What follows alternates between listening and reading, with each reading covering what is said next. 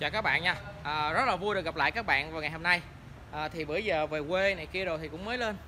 À, thì Hiện tại thì mình đang làm trực tiếp xe này đây. À, Xe Ford F kép à, Động cơ là V6 à, V6 Thì à, bữa giờ xe này vào với cái tình trạng mà xì nhớt. À, Mà bữa giờ mình không có dịp để quay cho các bạn về cái lúc đầu của xe này bị xì nhớt. Ra là bây giờ anh em đang làm thì mình đang tiếp nhận công việc. Tại đây thì mình quay tiếp cho anh em xem công đoạn thôi. À, một xíu nữa thì mình sẽ cố gắng tìm những hình ảnh cũ xe mới vô để mình ghe mình mình mình đưa lên cho anh em xem ha, về một số công việc cũng như là à, về cái thời gian mà mình làm. À, thì à, đối với video này thì mình muốn chia sẻ với anh em về cái thời gian mà bỏ xe tại xưởng để làm. Thì nếu mà anh em để thời gian nói thoải mái một xíu thì anh em sẽ làm kỹ hơn và anh em sẽ nhận được cái anh em sẽ nhận được chất lượng dịch vụ tốt hơn à, khi mà anh em gấp. Thì đây để mình chia sẻ cùng anh em trong video này. Thì đây các bạn thì à, đây là cái động cơ à, của xe Ford F kép ha. À, cái động cơ này là V6 nè thì à, cái động cơ thì không có gì để bàn hết. Thì à, cái xe này thì 3.0 thì động cơ V6 nè. À, cái xe ép kép thì nó có hai bản bản 2.3 và bản 3.0 à, đó thì à, hiện tại cái xe này sau một thời gian sử dụng thì cái nó bị xì nhớt à, nắp cò xì nhớt nắp cam có đầu có đuôi rất là nhiều vân vân và vân vân. Thì à, hiện tại thì anh em mình đang tiến hành công việc để à, bảo trì lại xe này. À, nói chung là xe này cũng là xe gia đình đi nên cái mức độ mà hư hỏng thì chưa có đáng ngại lắm à, mình cũng không nhớ là ờ, ở trên là km là bao nhiêu. À, tuy nhiên thì đối với một chiếc xe mà khi anh em mà để đại xưởng á à, có thời gian thì à, theo mình biết á, thì chủ xe này nó không có cái à, gò bó về thời gian. Có nghĩa là khi nào mình làm xong cái xe này thì mình giao cho anh em thôi. À, thành ra là khi mà có thời gian như vậy thì à, không phải là bên mình ngâm công việc mà khi mà mình làm một công việc đó mình có thời gian nhiều thì mình làm nó sẽ tốt hơn. Thì à, như hôm qua đến hôm nay là cái xe này đã hạ máy được hai ngày rồi à, thì hiện tại anh em đang rửa trước khi mình tháo ra ha. Cái xe này à, cũng bị xì nắp cam này kia đồ mọi thứ nhưng mà hiện tại thì cũng đang mới tháo nắp cò thôi các bạn. Mới tháo nắp cò này ra thôi. À, thì à, nhìn sơ bộ phía trong thì mình thấy là cái xe này khách đi à, bảo dưỡng cũng khá là tốt nha. Rất là kỹ. Những cái à, bố cam này kia rồi rất là sáng bóng luôn. À, rõ ràng là cái xe này à, sau một thời gian sử dụng lâu ngày thì nó bị xì nhớt. Tuy nhiên thì à, hiện tại thì xe anh anh em đang rửa vệ sinh qua nay thì cũng được như vậy rồi nhưng mà tuy nhiên thì chưa có xong nha các bạn. Đây cũng đang trà rửa lại dùng cái cọ. Anh em phải có thời gian để lấy cọ trà từng gốc từng nói chung là à, trà những góc cạnh thì rất là lâu. Mà ví dụ như một chiếc mà một chiếc xe như vậy mà vào mà để mình bảo dưỡng không á thông thường thì à, sau khi mình làm xì nhớt xong thì mình cũng có rửa luôn. Tuy nhiên mà nếu mà thời gian mà anh em gấp quá đó thì anh em sẽ rửa nói chung là sẽ không được sạch lắm. Cái điều đó là mình nói thật với anh em luôn. Chứ không phải là à, mình làm mình nói là đây mình làm kỹ hay không kỹ gì hết á ra là mình có thời gian mình đủ thời gian để mình vệ sinh cho anh em thì nó sẽ tốt hơn. Đó. đây là phần nắp cam nè hiện tại thì rửa cũng chưa có sạch. Tuy nhiên là anh em cũng đang trà rửa trước khi là mình sẽ tháo nắp cam này ra. À, chỉ mới nắp cò thôi để mình ụp lại thì nó rớt cát rớt bụi vô. Đó. Có thời gian như vậy thì anh em rửa này kia đồ thì nó sẽ kỹ hơn. Dưới này thì chưa nè ha. À, một lát rửa bên này lại luôn như thái ơi. Bên này còn rất là dơ đó. Rồi thì à, sau khi mà rửa xong sạch sẽ cơ bản rồi thì à, khi mình tháo ra mình sẽ vệ sinh lại một lần nữa phía ngoài nắp cam. Đó. Còn phía trên thì anh em cũng đã rửa rồi à, nhưng mà cũng phải rửa lại theo mình thấy là chưa sạch. À, để mình quay phía trên cho anh em xem nha. Ở đây là ở à, cái phần bọng dè này các bạn. Đó thì bông dè cũng mới rửa nói chung là cơ bản là rửa cơ bản thôi cũng chưa sạch mình thấy còn rất là dơ bụi cát đây nè. Đó. thì khi mà hạ cái máy này xuống rồi thì anh em cũng vệ sinh à, những cái chỗ như vậy. À, phía trên này kia đồ. À, ngay chỗ bầu lọc ga cái chân máy này kia đồ các thứ. Thì à, có thời gian như vậy thì một chiếc xe mà quân bình mà hạ như vậy thì có thể là mình làm khoảng mất khoảng 5 ngày nha các bạn. À, không phải là mình ngâm việc quá lâu đâu. Mà nội việc vệ sinh thì rất là rất là lâu luôn. Còn chứ mà mình tháo ra mình thay thế ron xong rồi mình rửa sơ mình lắp lên thì nói chung là khoảng khoảng 2 ngày. À, đến 3 ngày là xong thôi thì anh em cũng đã rửa này kia rồi cũng rất là theo mình thấy cũng được nhưng mà sẽ rửa lại khi mà lên máy này kia đồ xong sẽ rửa lại một lần nữa thì nó sẽ sạch thôi các bạn. À, vài công việc tại xưởng hôm nay thì anh em có đang làm máy của con Fortune nè. À, anh em đang tháo máy. Như hôm trước là mình cũng có chia sẻ với các bạn về dấu cam của con Ranger thì cũng tương, tương tự như cái xe này thôi ha. À, nó khác nhau một xíu về các lỗ ở trên heo. Đó nhưng mà cơ bản là giống nhau. Còn đây là một cái con Innova anh em đang đại tu à, xe này thì à, à, đang lột xác nguyên con và kể cả làm máy luôn. Thì cái máy nó đang nằm đằng kia kìa. Ở đây anh em đang thực hiện cái công việc là thay xương đầu à, căn chỉnh lại cái à, hệ thống à, căn chỉnh lại cái dàn đồng của nó à, rà vè này kia đồ lại đó các bạn. Thì bữa giờ cũng nhưng mà nghĩ cũng chậm chậm rồi. Thành ra là hôm nay chia sẻ với các bạn đôi chút về vài công việc tại đây. À, sáng giờ mình cũng đang làm cái xe này là xe Subaru nè. Hôm trước thì có chia sẻ với các bạn một cái xe Impreza thì à, này thì nói chung là mình thấy nó cũng à, khá là bốc.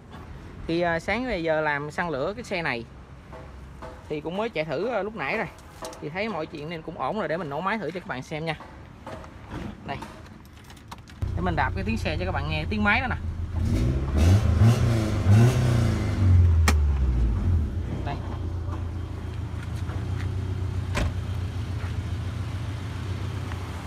Sáng giờ cũng làm mà xăng lửa lại mọi thứ rồi xe này cũng được thay máy rồi. À, à, dịnh mạnh cá nhân. Đây. À, máy này lớn hơn máy hôm trước nha các bạn. Nhưng mà xe này thì không phải xe hôm trước. Tuy nhiên thì xe này nó đã được à, thay một cái máy khác lớn hơn rồi. À, lọc gió này kia đồ mọi thứ. Chung là cũ rồi nhưng mà cái này theo mình là phải làm lại cái dàn ống hơi nữa.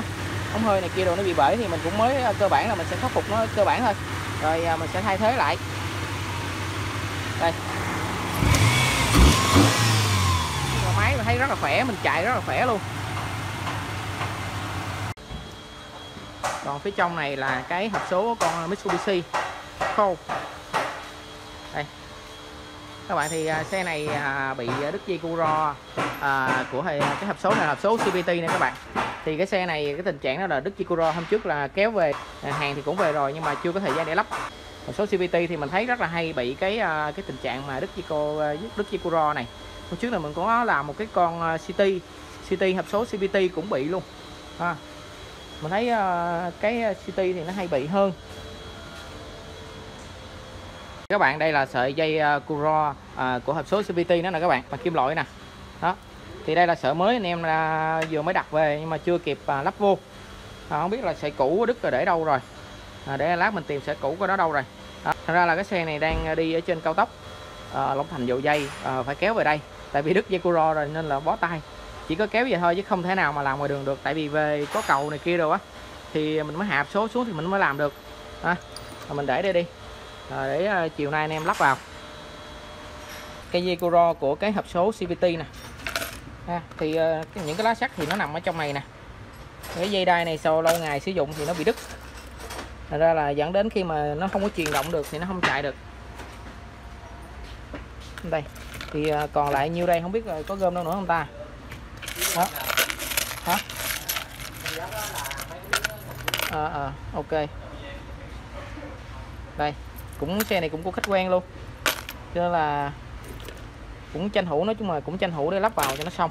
Đó thì đây là vài điều cơ bản về cái hộp số CVT của nó. Rồi à, mình lại quay lại với công việc hiện tại của mình đây. Hiện tại đang à, cầm cái hồ sơ xe này và đang làm lại xe này thì anh em đang ngồi trà nãy giờ thì nhưng mà cũng đã cơ bản là cũng sạch nhiều rồi. Thôi, cố gắng đi có thể là trà hết ngày nay thì mới xong. Này là các bạn phải dùng cọ sắt các bạn ngồi trà lại thì nó mới sạch thôi chứ nói chung là rửa này kia rồi cũng rất là khó ra. Tại vì đất cát lâu ngày nó bám lên đây rồi. Nói như vậy thôi là ba phải mất hết ờ, ba bốn người ngồi rửa. Cho nên là cũng rất là lâu luôn.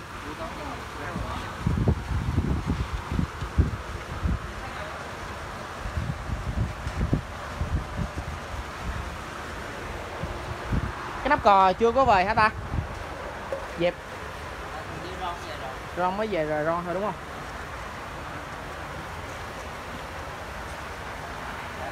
Đối với ờ, và một xíu nữa đây thì mình sẽ tháo nắp cam xe này ra và có thể là mình phải tháo ờ, cây cam này ra nè các bạn. Tại vì ở trên cây cam này thì nó có một cái ờ, pulley để dẫn động nè. À, nó kéo cái bơm nước phía sau nữa. Thành ra là chỗ này nó bị xì nhớt đây nè nó có mặt ghép chỗ này nè thành ra là để mình à, làm lại cái chỗ xì chỗ mặt ghép này nè thì à, mình phải tháo cái à, cây cam này ra. Thì nếu mà có được thì một xíu nữa mình sẽ chia sẻ với các bạn sơ à, về dấu cam của nó luôn ha. À, trong quá trình mà mình tháo cái cam này ra để mình làm cái chỗ xì nhớt chỗ này ở đây nó có là một cái miếng ghép này các bạn thấy không? Thì à, nói chung là xe này làm lại tất tần tật về việc à, xì nhớt thành ra là những cái chỗ nào mà mình nghi ngờ xì là mình sẽ làm hết. Chỗ nào xì làm và những cái chỗ mà kế bên chưa xì mình cũng làm luôn. Tháo cái này ra ở chỗ này nó có một cái bơm nước để ờ, uh, Yekuro này nó kéo nè. À, thôi để để anh em mình đẩy vô trong đi. À, vô trong góc kia làm thì có chỗ để đồ này kia đồ nó tiện hơn. Có chân rớt hai nắp cò kìa nha. À, cầm hai nắp cò đi. Đẩy vô trong đi. Nó có cái bệ máy này đẩy nó rất là khỏe luôn các bạn. Di chuyển này kia đồ mọi thứ rất là khỏe. Dọn đồ đi để đẩy vô trong cái chỗ cái uh, khu vực kỹ thuật. Để tháo ra ống nước à, kìa thông rồi.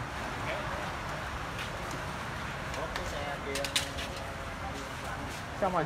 Công thôi anh. Tính công thôi. Chứ nó hư cái con mắt rồi mà không chịu thì thì sửa lại thôi. Hư rồi. Đôi gió đôi gió. Hư đôi gió. Lộn. Hư đôi gió. Ok, đẩy luôn. Lát mình để cái à, nắp cam lên trên kia luôn. Ok ok. Rồi lấy đồ bán nắp cam luôn đi uh... thấy rồi. Ừ, à, cái đồ này để gọn qua một bên để thôi nó lộn với lại mấy cái đồ xe kia. À, không phải là lắp lộn nhưng mà để nó lộn xộn kiếm lâu chứ lắp lộn thì chắc chắn là không lắp được rồi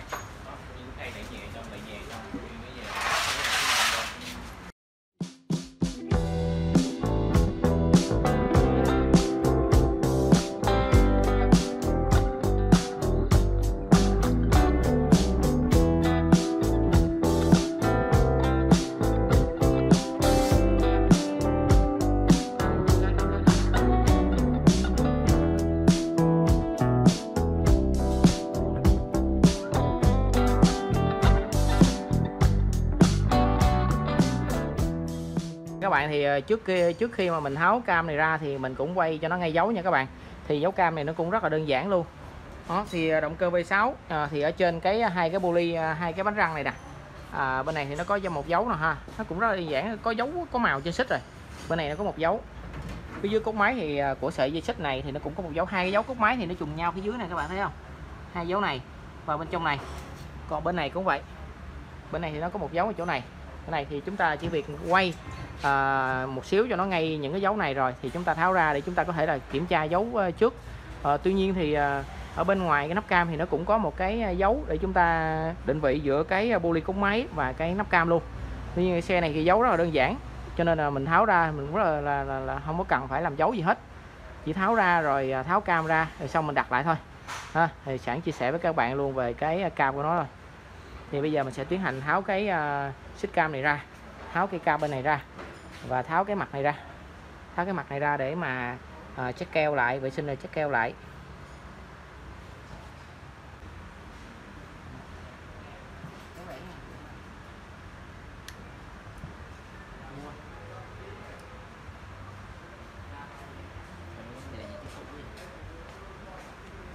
Các bạn thì trước khi các bạn tháo ra thì các bạn cũng có thể gài cái à, cái à, tăng đưa của cái à, xích xích cam này nè đó, thì các bạn có thể là đẩy và gài cái ngàm vô trước luôn nha.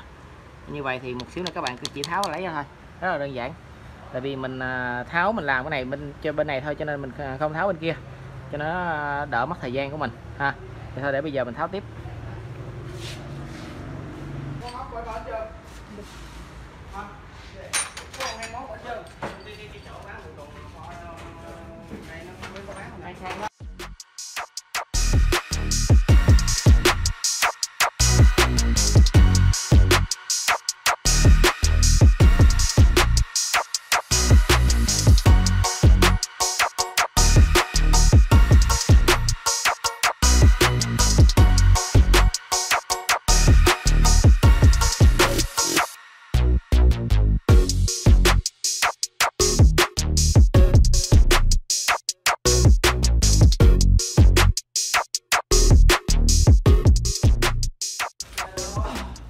Thì à, mình đã tháo ra xong rồi các bạn.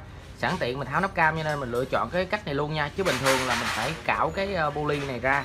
Rồi xong rồi sau đó mình mới làm cái công việc này. Tuy nhiên thì như vậy sẵn tiện mình tháo luôn. Đó cho nó dễ ha các bạn? Thì bóng cam này kia đồ rất là đẹp luôn nè ha.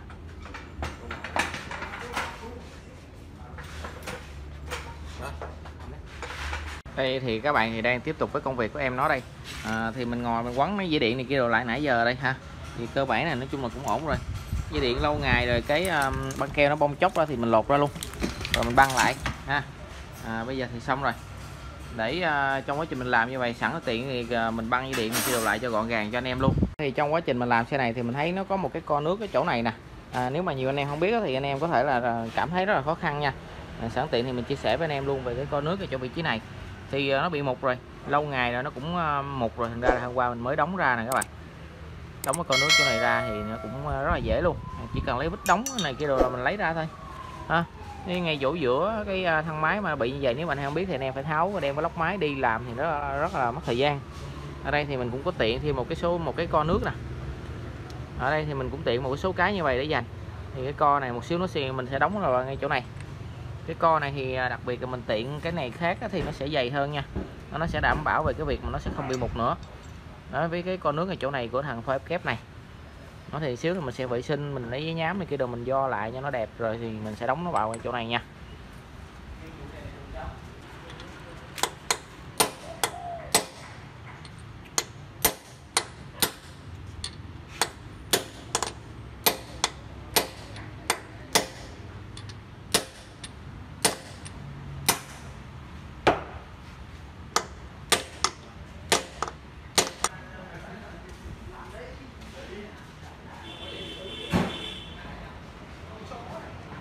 Các bạn thì à, mình cũng mới vừa đóng cái à, cái con nước mà mình tiện vô nè ha.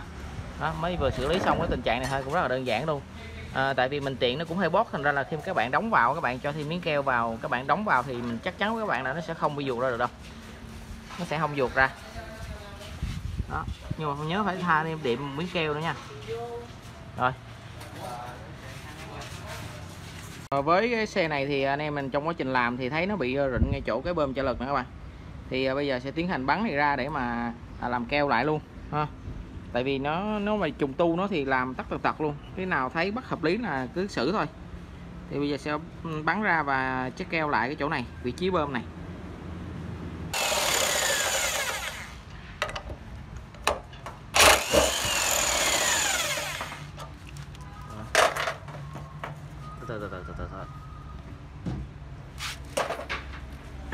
Đây các bạn thì à, anh em thợ bên mình cũng mới vừa tháo ra thì thấy lâu ngày nó bị chai ngay chỗ này nè. Thì à, bây giờ mình sẽ vệ sinh à, và có thể là chét keo nó lại để cho nó kín lại. Tại vì khi mà làm như vậy thì thấy chỗ nào xì nhớ thì anh em mình cứ xử lý thôi. À, bơm trợ lực hay là gì cũng vậy. À, kể cả làm luôn lại cái ron của cái bơm nước luôn. Rồi để bây giờ anh em mình xử lý cái việc này cái.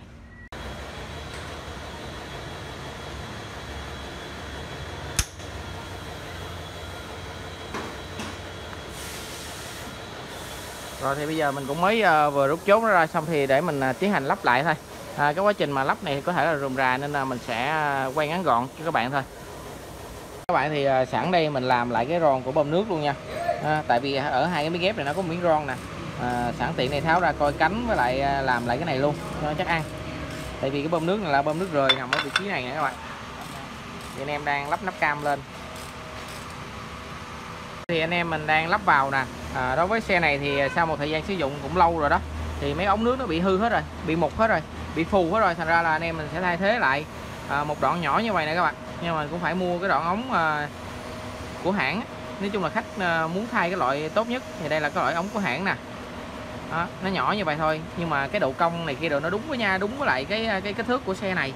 À, và cái ống này cũng vậy con này cũng vậy luôn à, kể cả khi mà mình thay ống mới mà ống hãng thì nó sẽ kèm theo cái ờ, cái cổ dê cho mình luôn nha. Cái cổ dê này chứ không phải những cổ dê mà mình siết bằng cái ờ, mình dặn bằng cái dít dẹp hay là dít ba kê gì đó thì nhìn nó không có được chắc chắn lắm. Đối với khi mình mua con nước hãng có nước mới thì nó sẽ cho mình cái cổ dê này luôn. Thì cái con nước này chỗ vị trí này đây nhưng mắt nước chỗ này thì mình đã đóng lại rồi nè cái con nước này đóng rồi thì cái con này sẽ nằm đây nè. Đó thì khi mà lắp vô đây thì đúng cái vị trí đúng của nó là đúng kích thước đúng độ cong. Đó thì nhìn nó sẽ chắc chắn hơn nha các bạn. Rồi còn à, đối với hệ thống lọc mát thì nó cũng là một cái hệ thống quan trọng. Thành ra là tất cả những cái đồ uh, thuộc về hệ thống lọc mát thì à, mình bên mình sẽ thay lại cái đồ zin. Đó. Tại vì nếu mà hệ thống lọc mát này đang đi giữa đường mà gặp trục chặt thì rất là nguy hiểm luôn. À, ở đây cũng là một con nước. Con nước của khách thì bị hư rồi. Là con nước mình cũng thay hàng mới luôn nha các bạn. Đây con nước thì nó bị ờ, nó cũng bị mục rồi. Thành ra là thay lại con nước khác luôn đây. Kể cả đây là phốt láp phốt đầu phốt đuôi luôn các bạn. Đây là cái ờ, phốt láp của nó nè. À, luôn bảo dưỡng lại hệ thống phốt láp. À, về cái ờ, ron trên cái mặt máy ron cò vân vân vân vân luôn. Thì các bạn cái video này nó cũng khá là dài rồi thì mình xin phép được tạm dừng tại đây. Và mình sẽ cập nhật các bạn về cái xe này khi mà mình làm xong. Thì cũng rất là cảm ơn các bạn theo dõi video à, và đừng quên đăng ký kênh để xem những video tiếp theo của mình nha các bạn. À, chào các bạn và mong được sớm gặp lại các bạn.